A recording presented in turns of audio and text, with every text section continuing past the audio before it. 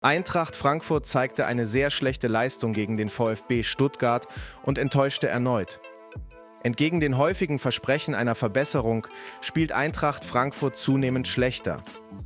Dennoch hat Markus Krösche, der Sportdirektor von Eintracht Frankfurt, zwei Hauptziele festgelegt. Erstens möchte der Verein sich für die Europa League qualifizieren. Zweitens soll Dino Topmöller als Cheftrainer für die nächste Saison gehalten werden. In den letzten Wochen wurde jedoch deutlich, dass es schwierig sein könnte, diese beiden Ziele gleichzeitig zu erreichen. Trotz des oft unvorhersehbaren und unorganisierten Spiels hat Eintracht nur zwei der letzten zwölf möglichen Punkte gewonnen.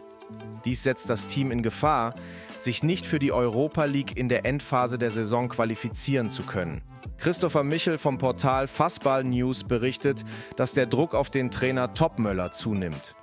Er muss eine Wende schaffen und die Qualifikation für die Europa League sichern, sonst könnte Krösche, der Sportdirektor des Vereins, seine Weiterbeschäftigung überdenken. Michel gilt als verlässliche Quelle über Eintracht Frankfurt.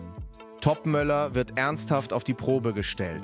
Obwohl der Frankfurter Verein keine voreiligen Entscheidungen treffen möchte, gibt es Zweifel, ob Krösche den Trainer halten wird, auch wenn dies die Qualifikation für die Europa League kosten könnte. Das Ziel ist es, die sportlichen Ziele vorzugsweise ohne Trainerwechsel zu erreichen. Die Situation ist kritisch, denn am Freitagabend steht ein Heimspiel gegen den FC Augsburg, einen direkten Konkurrenten, an. Ein Heimsieg könnte die Chancen des Clubs in internationalen Wettbewerben festigen, aber eine Niederlage könnte die Stimmung und die Position in der Tabelle verschlechtern. Fans von Eintracht Frankfurt, teile deine Meinung in den Kommentaren, like und abonniere den Kanal, damit du die nächsten Videos mit den neuesten Nachrichten von unserem Eintracht Frankfurt nicht verpasst.